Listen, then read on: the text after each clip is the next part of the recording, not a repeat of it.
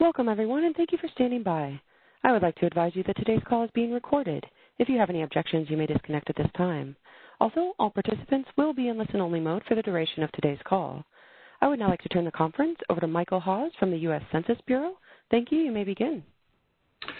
Thank you, operator, and good afternoon, everyone. Uh, welcome to the third webinar in our series on understanding the 2020 Census Disclosure Avoidance System. Today's session will provide a deeper discussion of some of the concepts underlying our implementation of differential privacy in the 2020 Census Disclosure Avoidance System's top-down algorithm. Uh, I'm joined today by my colleague Michael Ratcliffe, Senior Advisor for Frames in the Census Bureau's Geography Division, uh, who will be speaking in a little while about the top-down algorithm's geographic hierarchy.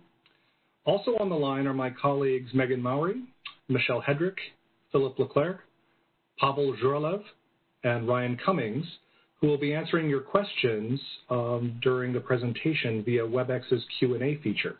So as you uh, come up with questions, just type those into the Q&A. Please send them to all panelists, uh, and they will be uh, responding to them in real time during the presentation today. Before I start, uh, I want to thank my Census Bureau colleagues and our external partners who have contributed to the information in this presentation. I'd also like to thank the many external stakeholder groups who have provided invaluable feedback that has helped us improve the disclosure avoidance system over the past few years. Uh, I'd also like to state that any opinions and viewpoints expressed today are entirely my own and do not represent the opinions or viewpoints of the U.S. Census Bureau. 2020 Disclosure Avoidance System's top-down algorithm, or TDA for short, uh, will be the method used to implement differential privacy noise infusion, sorry, differentially private noise infusion, excuse me, uh, for the first set of 2020 census data products, uh, which include the Public Law 94-171 redistricting data, uh, the demographic profiles, uh, and the demographic and housing characteristics files. The TDA will also be used for any special tabulations of the 2020 census. There are several requirements that TDA has been designed to meet. First, the system must be able to ingest the census edited file microdata and geographic reference file and must output the microdata detail file that will feed into decennial tabulation systems. Next, the algorithm must be able to hold certain data elements exactly as enumerated, we call these invariants. And the list of invariants set by the Census Bureau's Data Stewardship Executive Policy Committee, or DSEP for short, includes total population at the state level, the number and type of occupied group quarters facilities at the block level, and the number of housing units, whether occupied or not, at the block level. In addition to these invariants, TDA must be able to constrain values according to certain edit rules that were enforced on the census edited file. These include structural zeros, like not allowing three-year-old grandmothers, uh, as well as rules that require each occupied group quarters facility to have at least one occupant, among many others.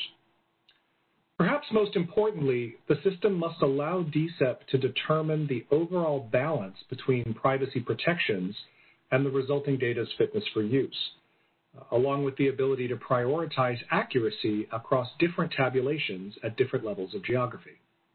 And we'll talk more about this in a few moments. The system must be able to ensure that the selection of privacy loss budget directly controls the resulting accuracy of the data. Essentially that as you increase the privacy loss budget to infinity, the algorithm will eventually output the original CEF microdata. And lastly, transparency. Uh, all of the design, code, and parameters of the disclosure avoidance system must be able to be made public. At a high level, the TDA has five steps.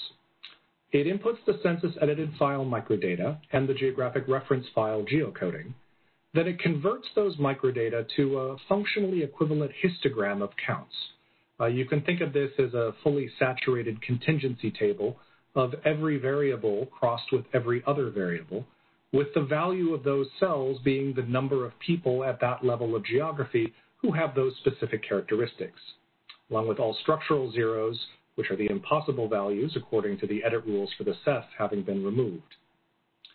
Then the algorithm asks a number of queries uh, and injects noise into those results. Uh, we call this the noisy measurement stage. And I'll talk more about this step in a moment. Armed with these noisy measurements, the system must then perform a set of optimization problems.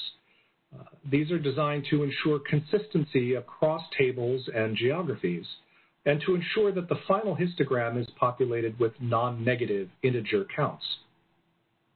Finally, the algorithm transforms the resulting histogram back into privacy-protected microdata that can be output into the decennial tabulation systems.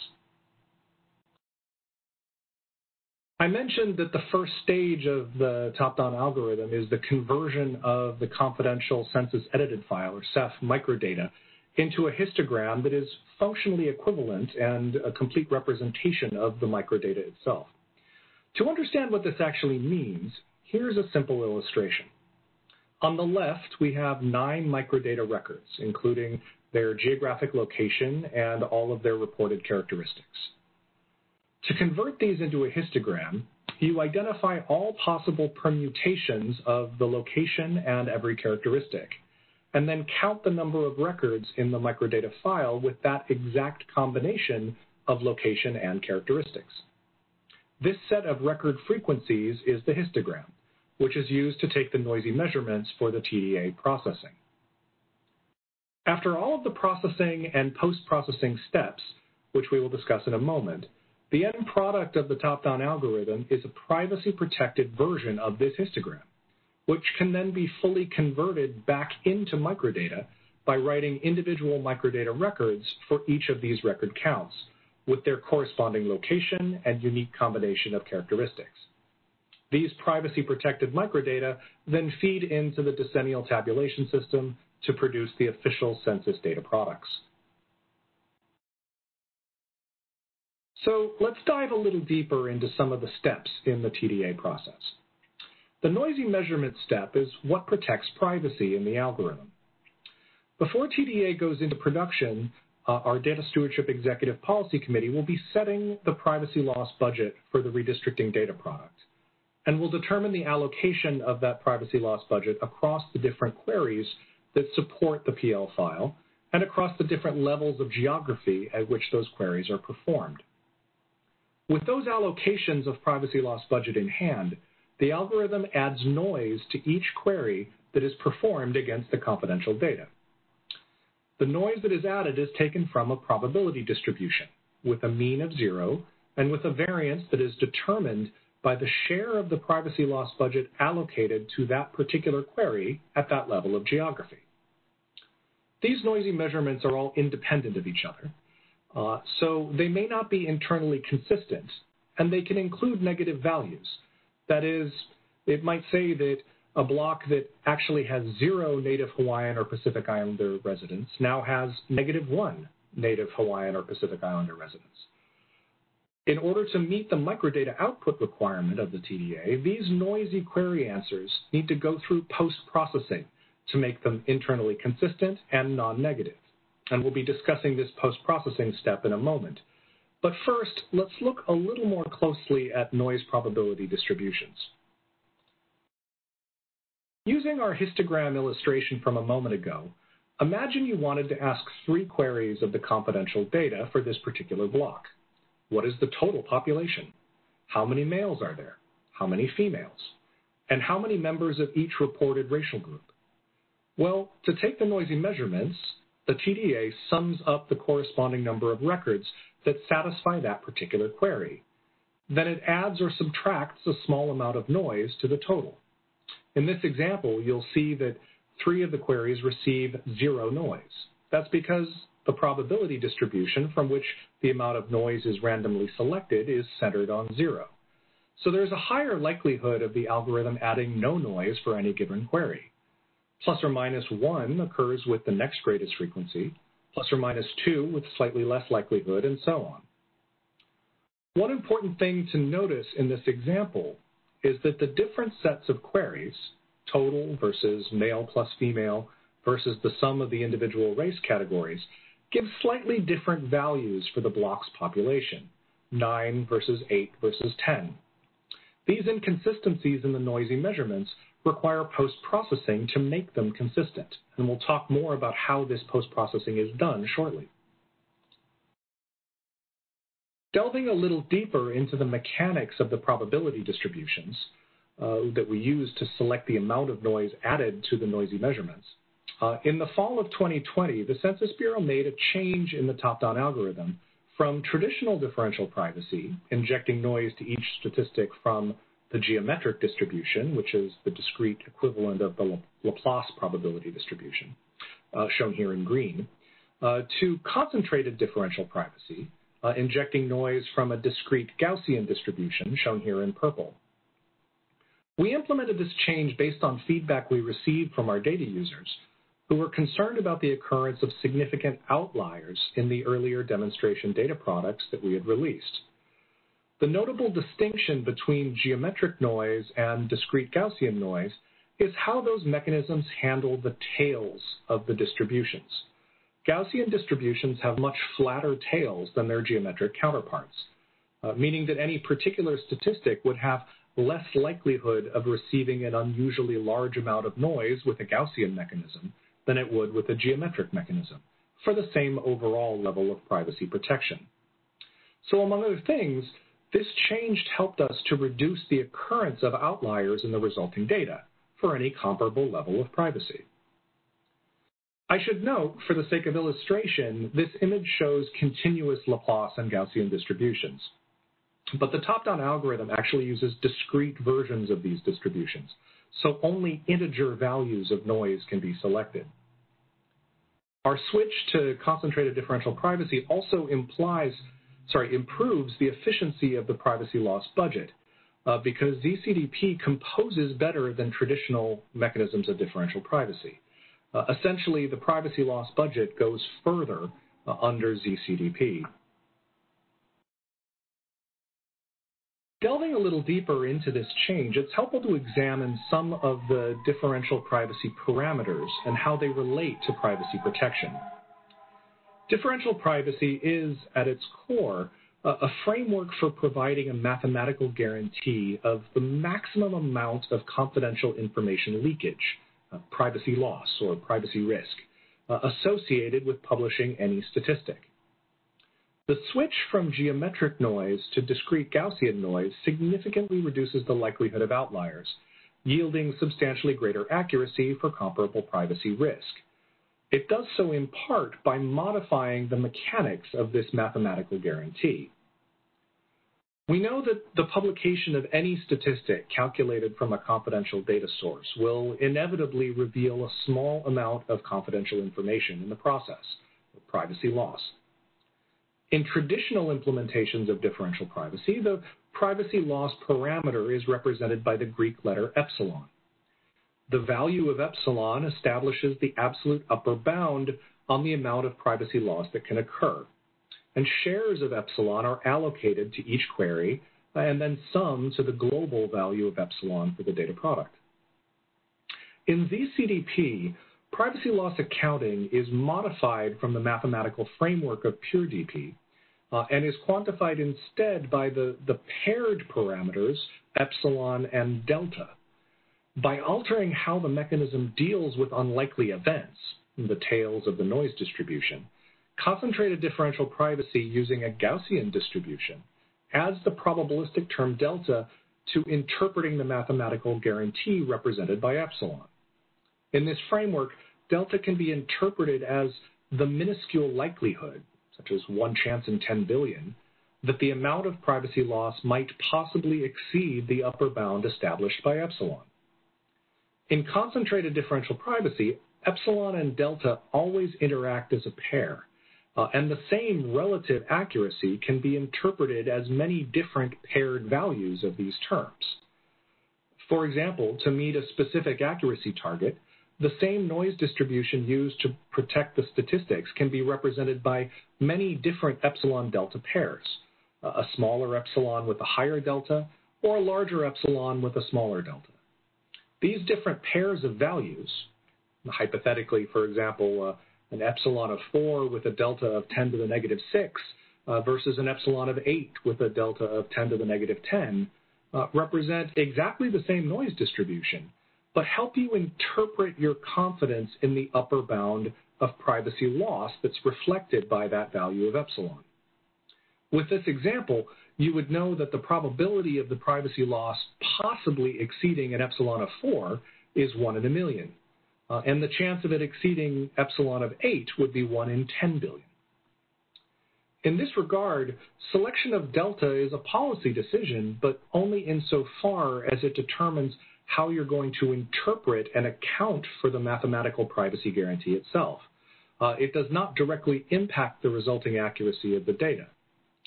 Currently, the Census Bureau's privacy accounting uses a value of delta of 10 to the minus 10, uh, so our published values of epsilon should be interpreted accordingly.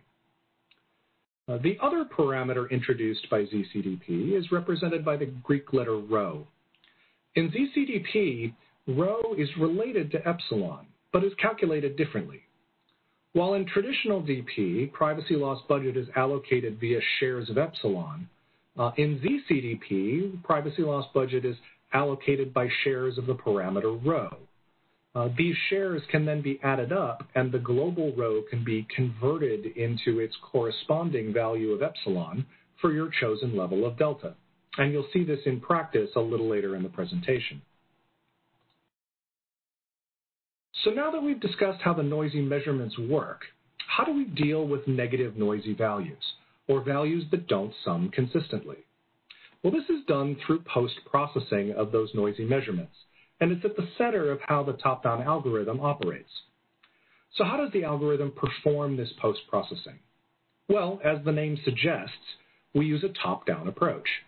The algorithm starts by post-processing the national level histogram, then moves its way down each level of the geographic hierarchy, processing those histograms in turn, until it gets all the way down to the individual census block level. At each geographic level, the algorithm takes the noisy query answers for that level of geography, uh, the invariants, which I discussed before, and the structural and rule-based constraints, which I mentioned previously, uh, and then determines the internally consistent non-negative integer histogram that best reflects those noisy answers from the noisy measurements. As the algorithm moves down the geographic hierarchy, the histogram values determined for the geographic level above it get added to the set of constraints which, within which the algorithm must optimize. The design of the top-down algorithm has a number of important advantages over other possible implementations of differentially private noise infusion for these data. The recursive process down the geographic hierarchy ensures that the disclosure limitation error does not increase when you aggregate census blocks to higher level geographies. Uh, this would not be the case with a bottom-up approach, uh, which would result in higher geographic levels having significantly greater amounts of noise. And this is a key feature of official statistics that we wanted to ensure TDA observed, that the accuracy of your statistics improve as the measured population size increases. Lastly, TDA has a helpful efficiency built in, uh, insofar as the algorithm allows lower levels to inherit accuracy or borrow strength from the measurements taken at higher levels. This helps improve count accuracy at lower geographic levels without expending additional privacy loss budget. So I showed a moment ago how the top-down algorithm performs the post-processing steps descending along a geographic hierarchy, or geographic spine, as we often call it. Uh, it's important to note that TDA only takes noisy measurements for geographic units on the hierarchy. So accuracy for on-spine geographies will normally be higher than the corresponding off-spine geographies of comparable size. But many legal and political geographies of interest are off-spine. Uh, therefore, their accuracy is impacted by the accuracy of the minimum number of on-spine geographies that could be used to construct them. That is, by the number of on-spine geographic units that would need to be added or subtracted to construct the geography of interest. To address this challenge, uh, the disclosure avoidance system team made changes to the geographic hierarchy uh, to improve the accuracy of off-spine uh, geographical entities. This was done primarily through the creation of what we call optimized block groups, uh, whereby the algorithm reconfigures block group boundaries to bring these off-spine entities closer to the spine, essentially minimizing uh, the, that off-spine distance, uh, and also by isolating group quarters facilities from their surrounding areas. Uh, as can be seen in the April 2021 demonstration data, this optimization of the geographic spine significantly improves accuracy for off-spine entities and was central to our ability to tune the algorithm for the redistricting and Voting Rights Act use cases. I want to stress, however, that the optimization of the geographic hierarchy only impacts how TDA operates. It will not affect tabulation geographies in the published census data products. So to explain how the optimization of the TDA's geographic hierarchy was done, I'll turn things over to my colleague Mike Ratcliffe, uh, Senior Advisor for Frames in our Geography Division. Thank you, Michael. If you could go to the next slide, please. We'll talk a little bit about how we've rethought the geographic hierarchy. So in Michael's last slide, we saw the central hierarchy in the Census Bureau's geographic, overall standard geographic hierarchy, or the central axis, if you want to call it that. Each of the types, and we'll see this again in, in the next slide, that, in the slide that follows. Each of the types of geographies in that hierarchy, or that spine, nests neatly within the higher level entity types. So it's a, a very nice, neat um, uh, aggregation of geographic units. So blocks add up to block groups, block groups to tracts, tracts to counties, and so on, all the way up to the, to the U.S. But there are, of course, as Michael mentioned, there are other geographic entity types that are important to data uses, and these other off-spine entities intersect with the on-spine entities in myriad and sometimes complex ways. So the challenge to us, and we heard this in meetings with stakeholders, external stakeholders, the challenge was to provide for the direct measurement of population and characteristics for American Indian, Alaska Native, Native Hawaiian areas, and sub-state legal geographic areas when applying the differential privacy methods. There are, of course, many other geographic areas that we publish data for, uh, but these were the primary, these were the key types of geography that we heard uh, from our stakeholders that were critical and important. So the consideration, so that was our challenge. The consideration uh, was that, and Michael alluded to this, the larger the number of geographic areas on the geographic hierarchy or the spine, and the more intersections between geographic areas that are formed when one type of area overlaps with another, the more thinly the privacy loss budget is distributed, impacting the accuracy of data for all geographic areas.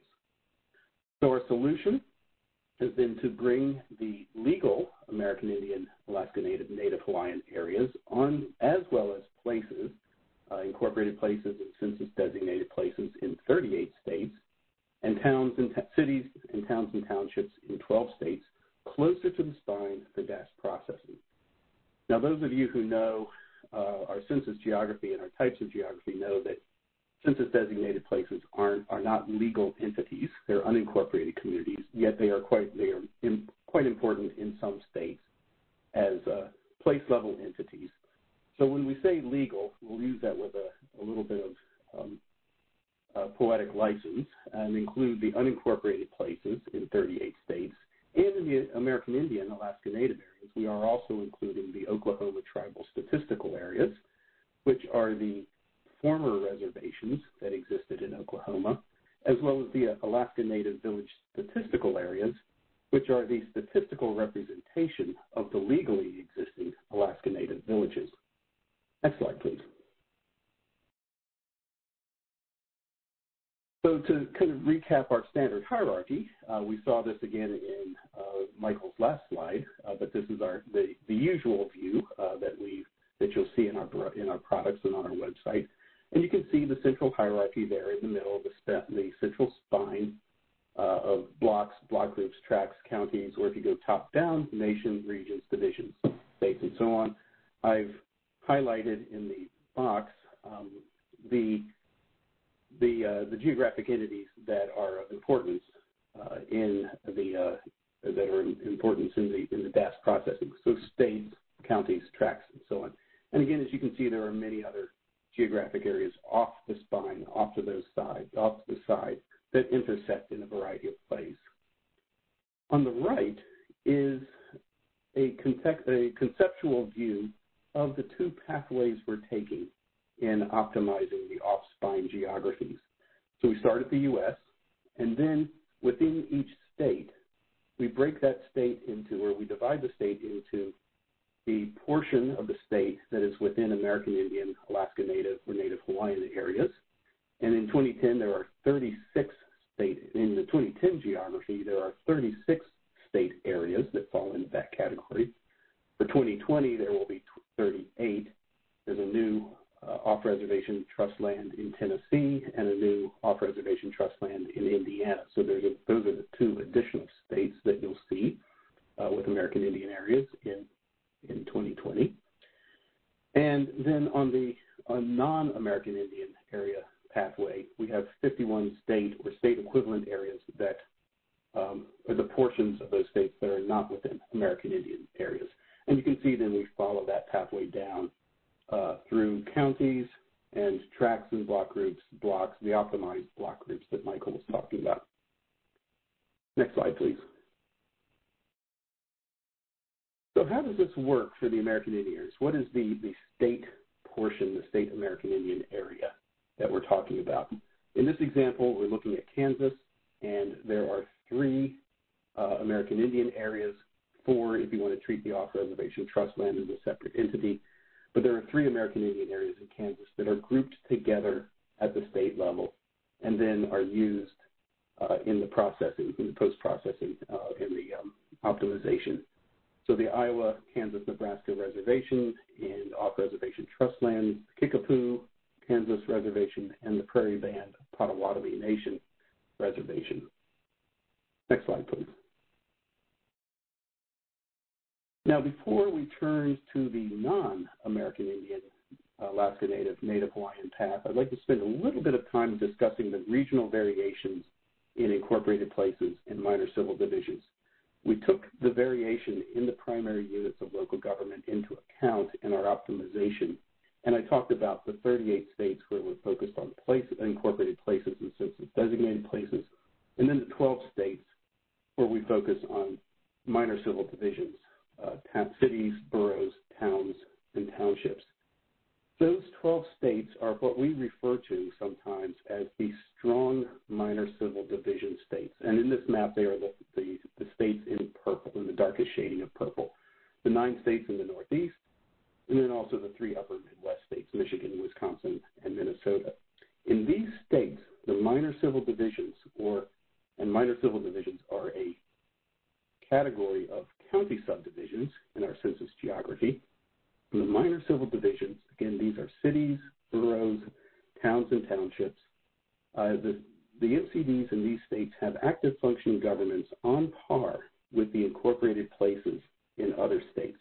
So these are the primary units of local government in those states. And so it was critical to take those, those, those the MCDs in those states into account and distinguish them from the political geography that we see, the, the variety of political geography we see in the, or legal geography in the other states. Uh, and those would be all of the other uh, states in the various, the other shades of purple, lilac, and then the green. Right, next slide, please. So focusing on the geographic hierarchy, on the more important sub-state geographic entities, uh, we focused on the geographic hierarchy, on the more important sub-state geographic entities in recognition of the regional variations that exist. I talked about the 12 strong minor civil division states. In those, we optimized block groups. The optimized block groups were configured to bring the minor civil divisions closer to the spine. Again, those are the primary units of local government in those states. They often uh, they are county subdivisions, and in many instances, the tracts and block groups will nest within those geographies. Uh, that's especially true in New England. In the other 38 states, the non-strong minor civil, civil division states, the District of Columbia and Puerto Rico, the optimized block groups were configured to bring places, again, uh, closer to the spine. And if you're familiar with our summary levels, at summary level 160, state place, And again, that includes not only the legal incorporated places, but also the unincorporated census designated places that we define in cooperation with local officials. And I believe that's the end of my slides, Michael, so I'll turn it back to you. Great, thanks, Michael. Uh, in addition to our spine optimization, uh, there are a few other features of the top-down algorithm worth discussing.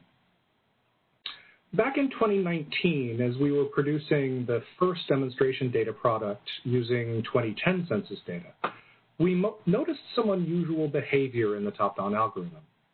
Apparently, the algorithm had difficulty effectively performing the post-processing for large queries with a substantial number of zeros or small values. Uh, the sparsity of the histogram resulted in some substantial biases in the resulting processing. Effectively, we were shifting people from urban centers to rural areas and from large population groups to smaller ones. To mitigate this effect, uh, we modified the algorithm in a number of ways, but most importantly, to, we modified it to be able to run in a series of passes uh, rather than performing all of the optimizations for each geographic level at once. Uh, this allows the algorithm to optimize certain query sets and then use those results as constraints for the subsequent processing of the subsequent queries. Uh, in the context of the redistricting data, this is relatively straightforward. Uh, at most geographic levels, the top-down algorithm processes the total population counts first and then processes the remaining queries to be consistent with those population counts. For larger data products that have even more sparsity, like the demographic and housing characteristics files, uh, the number and order of these passes uh, can help to further diminish the impact of sparsity on the algorithm and allows us to prioritize accuracy for certain tabulations. The top-down algorithm is remarkably flexible, and the algorithm can be finely tuned to meet various accuracy targets. Uh, this tuning is largely done through the allocation of privacy loss budget by ge geographic level and by query. Here you'll see the allocation of privacy loss budget by geographic level that's reflected in the April 2021 demonstration data release. Uh, in addition to the global rho, epsilon, and delta parameters for the persons file on the left uh, and the units file on the right, you can also see how the shares of privacy loss budget have been allocated across the different geographic levels within the two files. Uh, you can see that the tuning we performed to meet our accuracy targets for the redistricting use case allocated a substantial share of privacy loss budget, or rho, uh, to the block and optimized block group levels.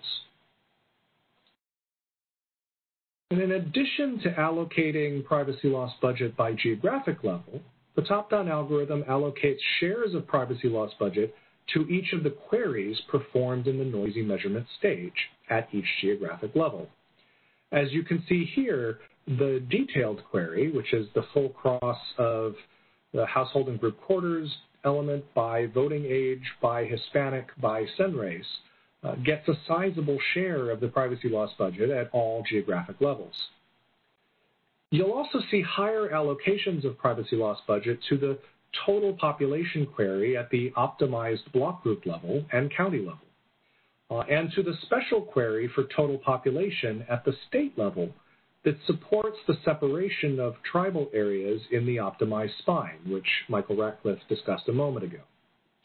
Remember, the total query, which is the total population count, is held invariant at the national and state levels, so no privacy loss budget is expended on this query at either level. Um, the rho allocation assigned to total at the state level in this table is actually the amount of privacy loss budget assigned to the state level queries for the total population of all American Indian Alaska Native tribal areas within the state and for the total population of the remainder of the state for those 36 in 2010 or 38 in 2020 states that include American Indian Alaska Native tribal areas. And before I open the floor for my colleagues to answer some more of your questions, uh, I'd like to encourage you to join us for the remaining webinars in this series. Uh, tomorrow, May 14th, uh, we'll be highlighting the detailed summary metrics from our April 2021 demonstration data release. And next Friday, May 21st, uh, we will be providing an analysis of our empirical assessment of the, the recent demonstration data for the Redistricting and Voting Rights Act use cases. Uh, if you would like to stay updated on our development of the 2020 disclosure avoidance system, please subscribe to our newsletter. Uh, we send out updates every couple of weeks with the latest information on the development and implementation of the DAS. And if you'd like to learn more about our modernization of disclosure avoidance methods for the 2020 census, check out our website. Uh, we have a wide array of useful resources, uh, including frequently asked questions, fact sheets, videos, blogs, and, and much more. And with that, uh, I'm going to uh, introduce Megan Mowry, who will help uh, moderate some of your remaining questions, and my colleagues and I will be happy to answer them for you. Thank you so much, Michael. Hello, everyone. I'm Megan Mowry, and apologies for um, showing you my messy office. I couldn't get my virtual background to load. Um, let's, Michael, Michael and Michael, this was an extremely technical web webinar, so I'm going to ask you a couple of questions that came in in the chat or um, that that I think will help people sort of disentangle some of that more technical language. So first, baseline question, does the move from uh, differential privacy to this zero concentrated differential privacy, does it increase the risk that people's data can be re-identified? So that's a great question. I'll, I'll, start, but then I would I would love to to pass it over to um, to Philip or uh, Pavel to, to chime in as well. Um, I, I guess the, the question is, uh, does it increase risk compared to what? Um, the switch to zero concentrated differential privacy still allows us a full privacy accounting. Uh, it just changes the, the, the, mechanism by which that accounting takes place. So uh, instead of just considering your, your value of, of epsilon, you have to consider that pair. Uh, and within that pair, that delta element helps you understand um, like at, at what point that privacy protection might degrade. If, if you set delta infinitesimally small or set it to zero, you would be back in the world essentially of traditional differential privacy. So what this does is it just essentially tells you um, what's your confidence in the privacy loss guarantee reflected by any particular level of epsilon. Uh, Philip or Pavel, do you want to add to that?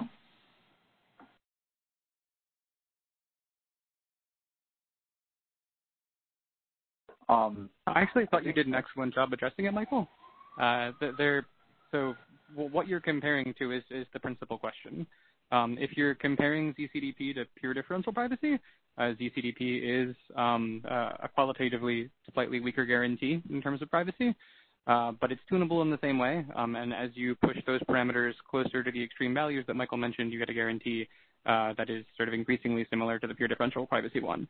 Um, and in any case, uh, if you're using ZCDP uh, or pure differential privacy, in either of those two worlds, um, you're getting a guarantee that just didn't exist with, with methods that predated these. Thanks for that. That's helpful. Um, I'm going to jump to a couple of really simple questions. Um, one, uh, a couple of folks have asked, how do I find these slides? Um, and so we will make sure that in the chat you can see the link to um, where all the slides for this webinar as well as all the other webinars in this series are available. We're also making the recordings available. It does take us a couple days to get that, a few days to get that information up on the uh, web, but please circle back if you'd like to review this or um, take a closer look at the slides. Another relatively easy question, um, someone asked, is this the first, is the most recent uh, PPMF, the most recent demonstration data, the first demonstration data that uses this zero con concentrated differential privacy, or have we seen that in prior demonstration data? So um, uh, no, this is not the first that uses it. We actually did make the switch to the discrete Gaussian distribution in the fall. Uh, I don't off the top of my head recall whether it was for the September or November release. Uh, but yeah, no, we did make that shift before, but it was still at the the lower privacy loss budget that we've been holding consistent across the first four demonstration data releases. So this is the first using the new mechanism with the higher privacy loss budget. It. Thank you for that. Um, I think this is a really interesting question. So one of the questions says, with the top-down algorithm, are geographies that are closer to the top of the spine assumed to be more accurate regardless of the size of the population? So I think the question is if you have um, a, a, a block group that has, you know, 3,000 people in it, uh, or let's say 10,000 people in it, and a tract, which is higher up the spine, but has slightly less people in it, will that tract sort of be assumed to be more accurate than the, the lower level geography with more people in it?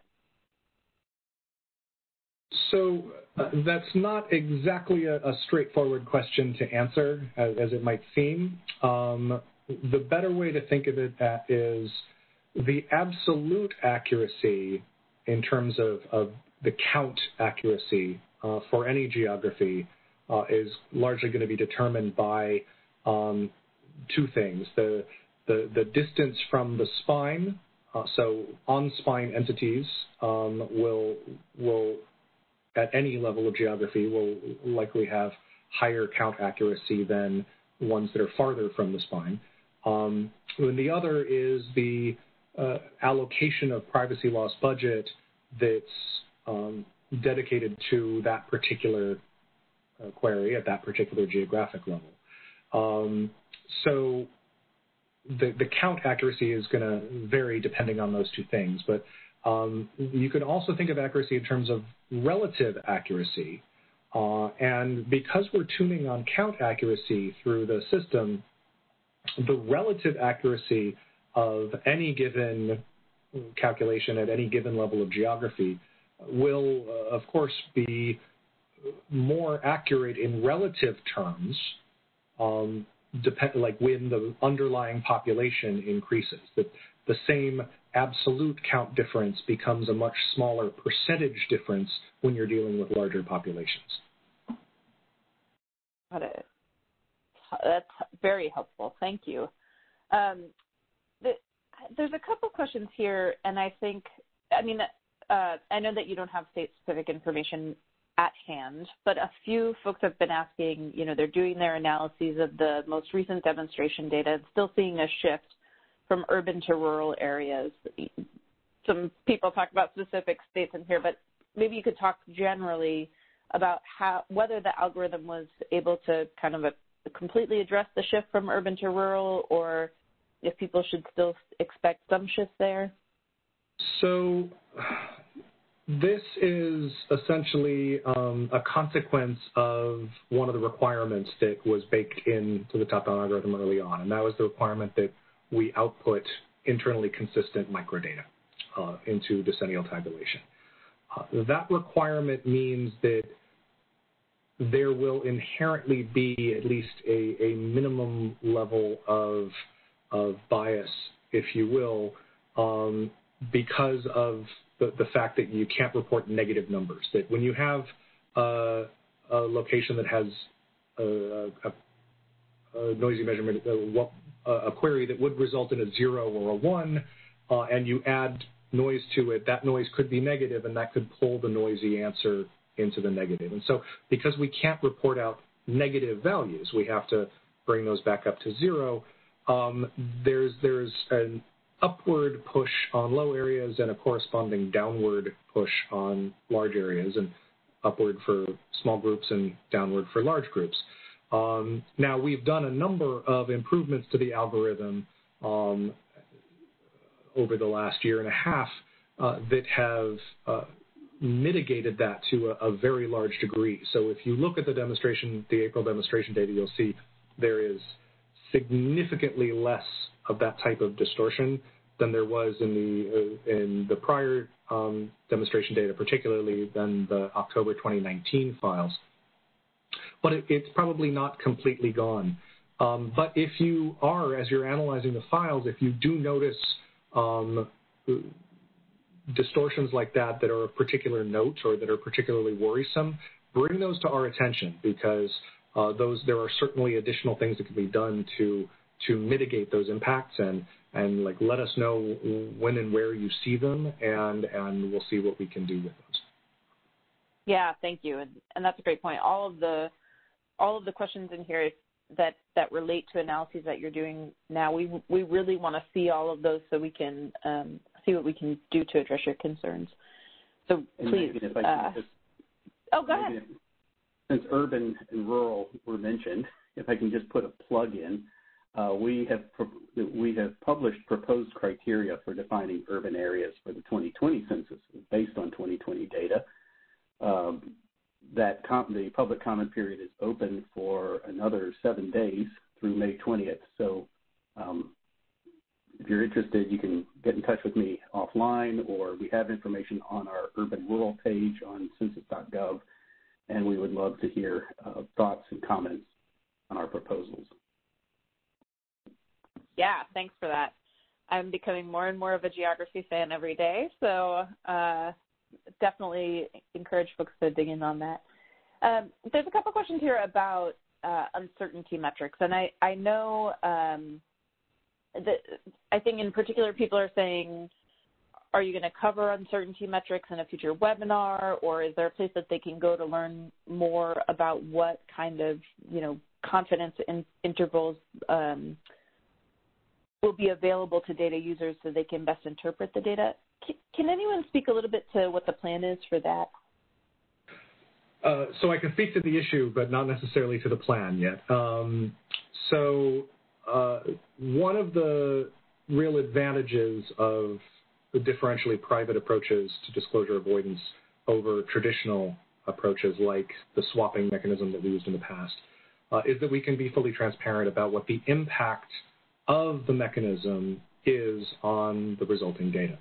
Um, in prior decades, um, disclosure avoidance absolutely had an impact on the accuracy and fitness for use of the data, uh, but quantifying that impact had to be kept secret um, because you had to protect your swap rates and protect the uh, assessment of the impact on, on accuracy.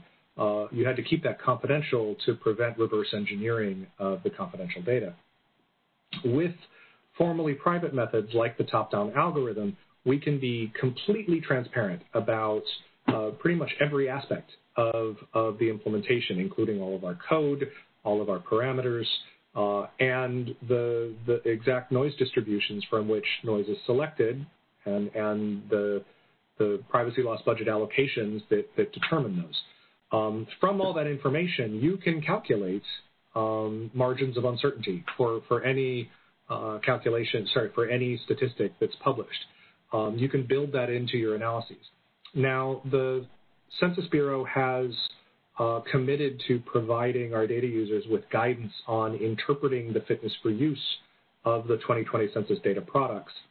Um, what form that guidance on interpreting fitness for use will take is still being worked out. Uh, so I can't say whether it's going to be through the publication of, of margins of uncertainty or, or, some other mechanism. Those details are still are still to be determined. Uh, but there are a number of ways that um, that kind of fitness for use guidance could be could be developed either by us or by those outside the Census Bureau. Um, and as as we as we work out the details of what what that guidance will actually look like, we'll be sharing that publicly.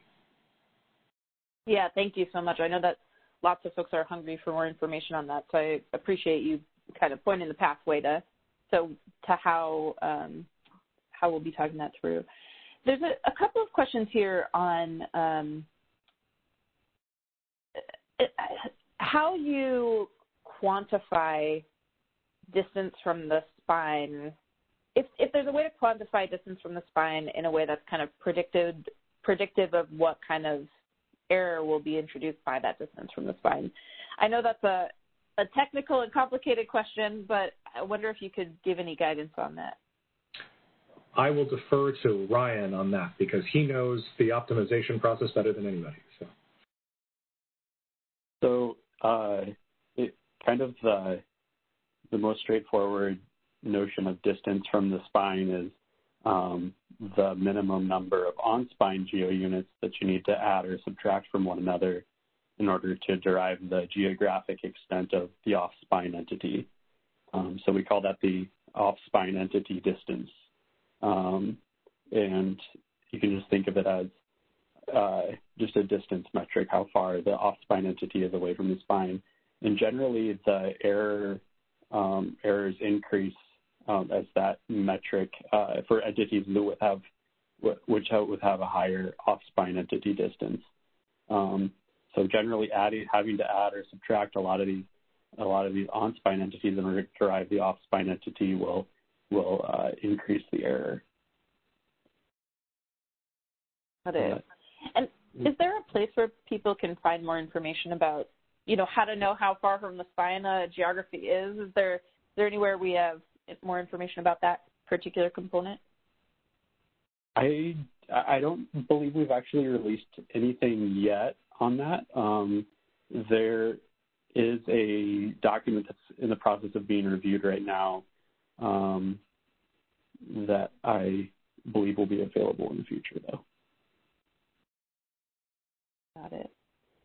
Uh, I will say, by the way, there are so many questions in this Q&A. We are definitely not getting to them all. We have about eight more minutes before we have to wrap up. So I, I just want to put in a plug. If you have questions that you don't get answered here on the webinar today, first, we really encourage you to come back to our other webinars. Second, you can always submit questions to us uh, via our, our, email inbox. Michael, do you have a slide with that uh, information? Yes, give me one second. Um, Great, Michael, bring that all up for y'all. But uh, let's keep keep going on the questions for for as long as we can. Um, someone just asked for a repetition. Uh, is more Actually, I don't have that here, unfortunately. Um, the email address is 2020DAS, short for Disclosure Avoidance System. So 2020DAS at census.gov. Great. Thank you, Michael. And uh, someone just asked for a quick repetition, and I just want to clarify this because I think it's important.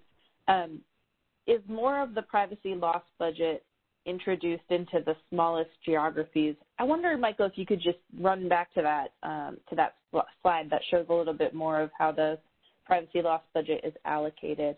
Uh, and one thing I want to correct in the question, it says, is more of the privacy lo loss budget, so less accuracy introduced to the smallest geographies, but I think if I'm right, that's that's actually backwards from the reality. The more privacy loss budget you have allocated to a place, the more the more um, accurate that geography is. Is that right? Am I saying? That's correct. The, the more the more privacy loss budget that you throw at uh, a particular query, the in relative terms, the more accurate it will be compared to the other queries. Um, so you'll notice that the, the substantial amount of privacy loss budget that we allocated to the optimized block group level and the block level, um, that was done primarily to improve the accuracy of those off-spine entities, which uh, we discussed before, um, because in many cases, uh, those off-spine entities need to be constructed by adding or subtracting block groups or blocks. Got it. And this this sort of allocation really kind of is what you mean by tuning, right? We've got a couple questions in here about you know, how what is tuning versus a criteria? Um, can you so, can you clarify that a little bit? Yeah, the the idea there is that there's lots of different ways to assess accuracy or fitness for use. Uh, accuracy for what purpose, accuracy of, of which queries at which levels, and there's going to be lots of trade-offs uh, involved um, uh, in any disclosure avoidance system, uh, even using traditional methods. Uh, but this is, it's made more explicit uh, in formal privacy with the, the explicit privacy accounting that differential privacy offers. Um, so with those trade-offs, you need to have kind of standards against which to evaluate to evaluate those trade-offs. Um, the accuracy targets that we set um, that we've discussed in previous webinars uh, were developed based on um, stakeholder feedback, uh, and, and, we developed accuracy targets that we uh, thought reflected those use cases as presented to us. Uh, and then we tuned the parameters with those accuracy targets in mind. So essentially, we um, experiment with different allocations of privacy loss budget across geographic levels and across the query sets to find the ones that um, best captured or best met those accuracy targets that we developed, as well as other accuracy targets that um, we had uh, developed internally for, for other priority uses of these data. Uh, and so the the tuning is is the the adjustment of the parameters and dials of the system, and your evaluation of the results of changing those parameters. Uh, that evaluation is done against whatever accuracy targets that you set. Got it. Thank you. And very many thanks to Michael Ratcliffe for um, rapid fire answering geography questions in the chat. Michael, I wonder if you could just pop back to one of the slides that shows the spine because we're getting a lot of questions about sort of what's on spine, off spine, just getting that clarity again. And uh, Michael, can you just one more time just walk us through what what are the, what are those on spine geographies yeah. versus off spine geographies? Sure. Yeah. So when we talk about the on spine geographies, what we're talking about are these are those geographic areas that are in that central hierarchy uh, nation, regions, divisions, states, counties, tracts, block groups, blocks. And specifically, when we're talking about spine in the, in the context of disclosure avoidance system processing, it's states, the counties, the tracts, the block groups, the blocks. These are the geographies that nest neatly within, within each other. So what that means is you'll never have a county that crosses a state boundary. You'll never have a census tract that crosses a county boundary. Uh, one thing to note, uh, there are population thresholds uh, minimum, optimum, maximum pop, uh, suggested population thresholds for census tracts. Because of that aspect of the criteria, you will, when you have a county, so the optimum population for a census tract is 4,000 people. When you have a county of, say, and the minimum is 1,200, when you have a county of less than 1,200 people, you're only going to have one census tract. We will not cross a county line to make that, that census tract larger to hit that optimum population. So there's a constraint there. There's a population criterion, and then there's a spatial criterion that, that kind of operates in some ways uh, as a constraint. The off-spine geographies are all the other geographies that are to the right and left of that central hierarchy. And these geographies are going to, they block that up to all of those. So when we're defining our, actually when we're preparing our final geography for the census for tabulation, we compile the boundaries, we update the boundaries of all of the higher level geographic areas, block groups, tracts, places, counties, uh, you name it, all the ones off to the sides. And then we define the census blocks. So the census blocks are the last geographic unit defined because they have to adhere to all of those boundaries, all of the, the, the network, the lattice work of boundaries and roads and other features that exist at higher levels. But you can always be assured that a census that census blocks will add up to every other geographic unit. All the other geographies are going to get split in some fashion. All the other on-spine geographies will be split in some fashion by the off-spine geographies. So a place can be, Got if it. you follow the lines, a place can be in two counties. It can never be in two in two states, but it can sometimes be in two two counties. It, it can split tracts in multiple ways, and so on and so on. To get to the question in the chat about enumeration areas, we actually don't use that term anymore, haven't for several, for quite a few decades. We do talk about collection geography, and starting in 2000, we completely separated our concepts of collection geography and tabulation geography. So the collection geography exists solely to carry out census operations, and then the tabulation geography, and then it's put aside, and the tabulation geography. Everything you see on this hierarchy chart is what's used to publish, to tabulate and then disseminate data. One clarifying question before we um, wrap up. I know we're right at time, but um, I, you, you, mentioned that those off-spine geographies are never going to cross state lines, but there is an exception to that, right? Tribal geographies might might cross well, state lines. I, I, was referring to places. We sometimes get the, you know, we, will sometimes hear from people saying, well, what about Kansas City? Because there are two Kansas cities, there's two Texarkanas, and so on. Cities are creatures of the state. but you're absolutely right. Tribal geographies will cross state lines. The Navajo Nation is in three states. Um, urban areas will cross state, state lines, metropolitan areas. So, you know, if you follow the lines on the hierarchy chart, you'll see those relationships. It's not perfect view. This is a conceptual view of trying to bring some order to a very complex and sometimes messy set of geographic units. Uh, but yeah, the, there are um, so tribal areas, yes, will cross state lines. And so we've gotten questions about the Navajo Nation um, and Indian areas that cross, uh, American Indian areas that cross state lines. So when we're applying the American Indian, Alaska Native, Native Hawaiian pathway here, uh, the Navajo, the portion of the Navajo Nation in New Mexico will be grouped with all of the other American Indian areas in New Mexico.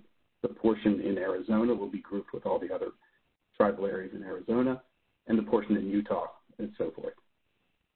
Got and then it. will be brought back together into a single unit when we publish the data. Incredibly helpful, and I really appreciate you clarifying that. I know it's a it's a point that's been really really tricky for people to understand. Uh, thank you so much. I know we're at time. Michael Hawes, do you want to uh, take us out? Sure. So I just want to thank everybody again for joining us today, and I'll go back to our uh, schedule here. So um, please join us for the subsequent webinars in this series. Again, we have one tomorrow on the detailed summary metrics and one next Friday on our uh, empirical assessment of the 2020, the April 2021 demonstration data for the Redistricting and Voting Rights Act use cases. Uh, both should be uh, great sessions. Um, if you'd like to see the recordings of the prior sessions in this series, uh, those are available on our website, as we previously mentioned. Uh, and with that, uh, I will say thank you to everyone and hope you have a great rest of the, your day.